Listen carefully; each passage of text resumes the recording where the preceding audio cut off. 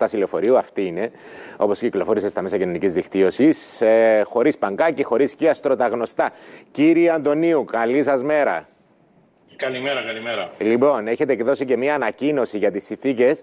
Τώρα, ε, γνωρίζουμε ότι πάρα πολλές στάσεις ε, παρουσιάζουν αυτήν την εικόνα, κύριε Αντωνίου. Τώρα το να βλέπεις ναι. ένα ηλικιωμένο άτομο, μια ηλικιωμένη γυναίκα να ταλαιπωρείται μέσα στον ήλιο του Ιουλίου με αυτές τις θερμοκρασίες, υπενθυμίζει την αναρμοδιότητα των αρμοδίων, ε, κύριε Αντωνίου. Να πω και κάτι τώρα που βλέπω την εικόνα. Προσέξτε ότι υπάρχει και αστυνομιακή. Είναι αστυνομία αυτή με το συγκλέτια μεγάλη, ή κάνω λάθος. Ναι, ναι, ναι, ναι, είναι και αστυνομία. Ναι. Εντάξει. Ε, Δεν ξέρουμε αν πήγε να, να πλησιάσει τη γυναίκα την ηλικιωμένη αστυνομικό, αν χρειάζεται κάτι. Ε, ε, είναι χρόνια που φωνάζουμε αυτά τα πράγματα, ότι οι στάσει ε, και οι συγκοινωνίες μας γενικότερα θέλουν ξύλωμα και ξαναστήσιμο.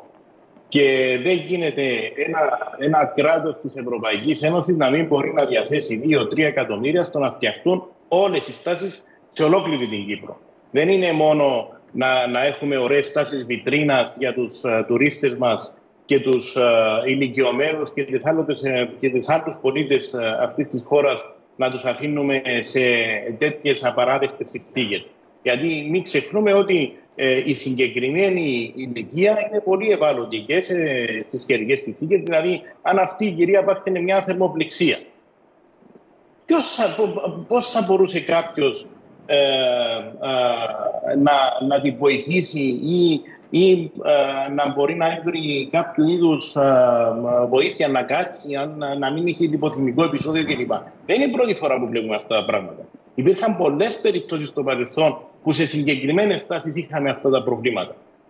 Ναι. Ε, απλά εμείς, στη, συγκεκριμένη περίπτωση κάποιος περνούσε από εκεί, τράβηξε μια φωτογραφία, αποτυπώθηκε η εικόνα και ξεκίνησαν οι εντυπώσεις. Ε, Εμείς καλούμε τον, τον, τον Υπουργό Μεταφορών να λύσει το πρόβλημα. Δεν μπορεί διαχρονικά όσοι, όσοι υπουργοί έχουν περάσει να μην έχει κα, κανένας αγγίξει αυτό το σοβαρό θέμα που να σας πω και κάτι το οποίο είναι μια παράμετρος. Το να μην δίνει την επιλογή του ηλικιωμένου, γιατί ένας ηλικιωμένος είναι στο σπίτι, θέλει να μετακινηθεί. Δεν έχει πολλές επιλογές. Ναι. Πρώτον, τα ταξί είναι ακριβά. Δεύτερον, το οικογενειακό του περιβάλλον μπορεί να εργάζεται και να μην μπορεί να το μεταφέρει για διάφορους λόγους. Άρα, η λύση που απομένει είναι το λεωφορείο. Mm-hmm. Και το λεωφορείο δυστυχώς σήμερα, αν και ε, είναι με την πανοκρουσίες που κάθε τόσο ε, πανηγυρίζουμε για τα, για τα νέα λεωφορεία και σύγχρονα λεωφορεία, τι να τα κάνω όταν υπάρχει αυτή η κατάσταση; Λοιπόν, έχει εκπονηθεί ένα σχέδιο από τον ε, Υπουργό, τον κύριο Βαφεάδη, που αφορά στην αναβάθμιση αυτών των στάσεων λεωφορείων. Τον είχαμε και πρόσφατα εδώ στο στούντιο και μας είπε: ναι, Το ναι. θέμα είναι να επισπευθούν οι διαδικασίες. Γιατί κολούσε, μας έλεγαν πάντα, κολούσε, μας έλεγαν πάντα, ε, επειδή χρειάζεται, είναι πολύ παραγωγικό, χρειάζεται και συμβουλή των Δήμων και των κοινοτήτων για αυτές τις στάσεις των λεωφορείων. Μας είπαν ότι ξεπέρασαν το σκόπελο. Τώρα να δούμε, κυρία Αντωνίου. Μα, μακάρι, μακάρι γιατί είναι, είναι, είναι ντροπή. Είναι ντροπή αυτό το, αυτό το πράγμα και είναι εις βάρος σε μια πολύ ευάλωτη ομάδα του, του πληθυσμού. Δεν ναι, γίνονται αυτά τα πράγματα. Κύριε Αντωνίου, όμως, ε, ε, προσέξτε, ο Υπουργός Μεταφορών που ήταν και καλεσμένος εδώ στο στούντιο στην εκπομπή και ρωτήσαμε κι εμείς ακριβώς γι' αυτό, είπε ότι υπάρχει ένα πλάνο για τις τάσεις λεωφορείων, αλλά σε ρώτηση ο Νουφρέν, θυμάσαι πολύ καλά, ε, δεν ξεκαθάρισε αν οι στάσεις λεωφορείων θα αλλάξουν όλες, ε, θα γίνουν lifting, δηλαδή θα μπουν σε όλες στέγαστρο. Ναι. Είπε ότι δεν θα μπουν σε, σε όλες στέγαστρο. Δεν θα μπουν, ναι. Σε κάποιες δεν θα μπουν. Άρα, που σημαίνει... έχει, έχει, έχει, γίνει μελέτη δηλαδή και, και είδαν ότι σε συγκεκριμένες στάσεις δεν υπάρχουν άτομα ή δεν υπάρχει κίνηση. Προφανώς και θα γίνει. Ναι, ναι, αν έχει γίνει αυτή η μελέτη και καταδεικνύει αυτά τα πράγματα, ας φτιάξουν τα υπόλοιπα και αυτές ας τις φτιάξουν σταδιακά. Δηλαδή, Νομίζω... πόσο κοστίζει μια στάση να βάλεις ένα στέγαστο; Ναι. Νομίζω υπήρχε η αιτιολόγηση ότι ε, σε συγκεκριμένε στάσει που δεν θα τοποθετηθεί υπάρχει ε, στεγασμένος χώρος ε, δίπλα ή πίσω και γι' αυτόν τον λόγο. Αλλά σε όσες είναι σαν αυτή που είναι ένα τρανταχτό παράδειγμα, που δεν υπάρχει Ακριβώς. τίποτε άλλο εκεί, σαφώς και θα τοποθετηθεί, αντιλαμβανόμαστε. Και, και βλέπετε ότι δεν είναι στην Ήπεθρο, είναι, είναι, ναι, είναι, ναι, ναι. μπορεί να είναι, στα, είναι στην πόλη αυτό το πράγμα. Μάλιστα. Και ξέρετε, ε, και τώρα και, ούτε, και... μια καρέκλα, ούτε.